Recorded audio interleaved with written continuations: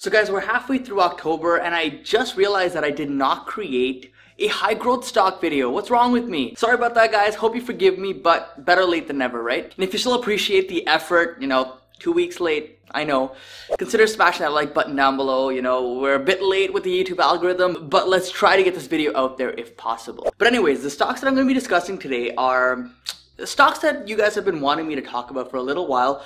So I thought, what better way than just throwing them in this video and just having a discussion on them. Now, I don't really know if I'll actually be buying these stocks in October, but they are my watch list. And if they do show some better valuations, there's a dip in the market, you know, the stocks crash, bad earnings, who knows what comes out.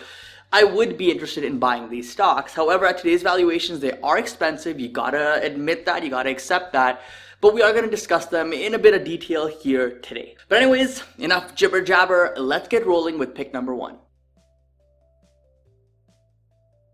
So everyone's favorite music streaming platform, Spotify, is the first stock we're discussing today because, well, quite honestly, it's an incredible growth stock. Spotify has had a phenomenal year, up 75%. And if you're buying into the stock today, that's just something right off the bat that you have to accept. Sometimes you just have to pay a premium for a great stock or a great service which kind of segues me into today's video sponsor. So Skillshare is our sponsor today and I want to give them a huge thanks for supporting the channel. If you haven't heard of them before, Skillshare is a platform where you can learn a new skill that can help improve your lifestyle. Whether you want to learn how to build a website or learn how to play a new musical instrument, Skillshare has the right course for you.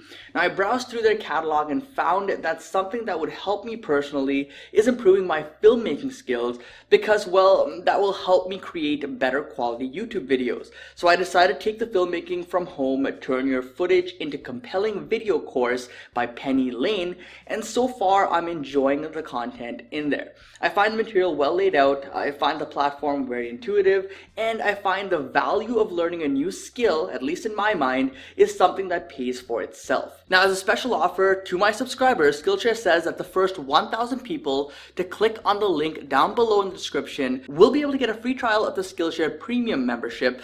And after that, it's only about $10 per month. But anyways, guys, they're supporting the channel, so I'd appreciate if you could just check them out in the description down below. And also let me know in the comment section down below what skill you've decided to learn. But anyways, getting back into Spotify here, this company is growing rapidly and the revenues this year expect to grow by nearly 40% and next year around 22.5%, bringing them just under $11.5 billion in revenue. And while today Spotify is a $50 billion market cap company, so it isn't very cheap, but if they are able to hit 11.5 billion in revenue next year, we could be onto something. Calculating the price of sales for 2021 based on the estimates, it gives us around a 4.35 price to sales, and this is a value that I personally would seriously consider buying Spotify at. But before I can really make that decision, there are a few more metrics we need to look at. So while revenue has been growing rapidly, the company still struggles to pull in a profit. They have reduced their losses from 2018 quite significantly, in fact, but they have yet to taste profitability, which is possibly a reason the stock trades at a lower price to sales. Investors these days love growth companies, so Spotify wins here, but there's a double bonus for profitable ones as well, and until Spotify can show that they can hit and maintain profitability, it may be a stock that trades at these lower price to sales valuations. Now, one thing that I like to do to look at a high growth business to see how they're doing, you know, how quickly can they really get to profitability and sustain it is to look at their gross margins. Unfortunately here we can see that they're holding around a 25.5% gross margin, which uh, not too bad, but it's much lower than I expected for a pure software business.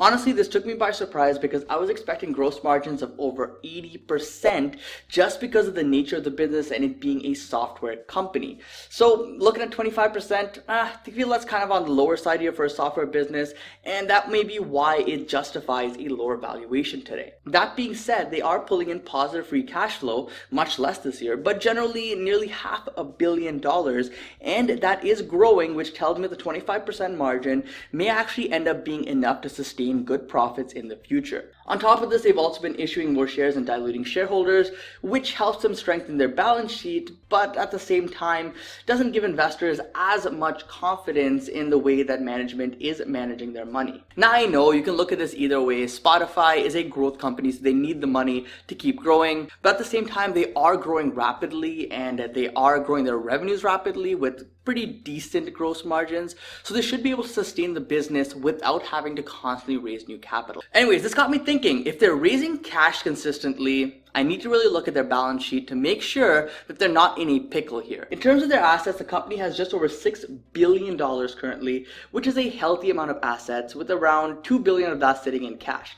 Total liabilities, on the other hand, sits at 3.75 billion, with 673 million sitting in long-term debt. But even so, they have enough assets to cover their liabilities with around 1.6 times assets to liabilities. So I'd say this balance sheet is good, not bulletproof, but it is good. No fears really of this company going bankrupt or insolvency or anything like that. However, as they keep growing, it seems like they're spending a lot more, so that cash balance could start shrinking over time. You got to keep an eye on that. So really, Spotify, great business. I'm personally a customer, been a customer for a while on Spotify. Love the service it pretty much has every song you could ever think of and because it is a subscription model the company has constant recurring revenue which is again what investors currently are looking for in the market. Are you still watching? If you are let me know in the comment section down below what your favorite song of all time is. Our second stock here, Peloton, is on a whole nother level, and I know you guys have been asking for a while to cover this stock, so here you go. Growth this year is expected to be nearly 100%, a double up, and next year around 33%, equating to around $4.8 billion in revenue, which is still extremely strong. With a current market cap of 38 billion, this gives them a forward price of sales of almost eight, so about two times as expensive on this metric than Spotify. But hey guys, there must be a good reason why this is twice as expensive when we're looking at the price to sales valuation, right? Well, even though Peloton is still not profitable, they're losing around $71 million, that's what they lost last year. They are a company like Spotify that's focused on growth, growth, growth. Their gross margins, however, were extremely surprising in a good way at over 45%. This tells me that Peloton has potential to be a very profitable business, and if this growth on their gross margin continues, then theoretically the valuations should also increase as that deserves a decent premium. Peloton has a rock solid balance sheet, $1.75 billion in cash, nearly $3 billion in total assets, and uh, that compares to around 1.3 billion in total liabilities with no long-term debt on their balance sheet. And guys, this is a very healthy margin of assets to liabilities from my perspective. Great, so Peloton looking pretty good. I have to be honest, even after this massive run up, price of sales still looks pretty decent. Growth, massive. Gross margins, incredible. So why aren't they profitable yet? Are they going to be profitable soon? Let's take a look at free cash flow. Well, if things go according to plan in the next couple of years, they should be pulling in hundreds of millions of dollars in free cash flow. And while this should be reinvested into the business and may not reflect on the net income, it tells me that the business can sustain its growth and that strong balance sheet can remain strong or get even stronger and has a low risk of becoming compromised. Now here's the thing, year to date, Peloton stock is up 340%. That is quite the performance and it may be hard to justify buying in at these valuations, especially if you were someone that looked at this business before, saw it in the $20 range earlier this year and decided not to invest. Because choosing to invest now just because the stock price is higher is a poor investment decision. In my opinion, based on the metrics we're looking at, Peloton is a very strong company and they could have a compelling argument even at these higher prices to buy into the stock. Now, I'll admit, I have not really looked into Peloton before when they IPO'd, thought it was another hype stock, didn't really care much for it, and yeah, it missed out on some pretty good gains here. Could have bought in back then if I looked at the valuation back then, because clearly if today after this big run up, it's still looking good, back then it must have looked much, much better. So while the forward price of sales is around an 8, paying a premium for the stock, it is a high growth stock. Arguments could be made either way, you know, it's worth it, overvalued, undervalued, fairly valued. In my opinion, I think there is still a lot more upside to see in Peloton if you are in this for the long term. If you're getting in this for the short term, one miss on the earnings report, some disappointing news, maybe lower guidance could see the stock drop quite significantly. So keep that in mind. However, if you do believe in their business model, you know, maybe you're a customer of Peloton, you see your friends, family also using their products and their services, then you could definitely be onto something. This could definitely be a multi-bagger investment over the long term. So Peloton, Spotify, which of these two growth stocks would you personally consider at today's valuations? As you can tell, I'm probably more bullish on Peloton as it stands today.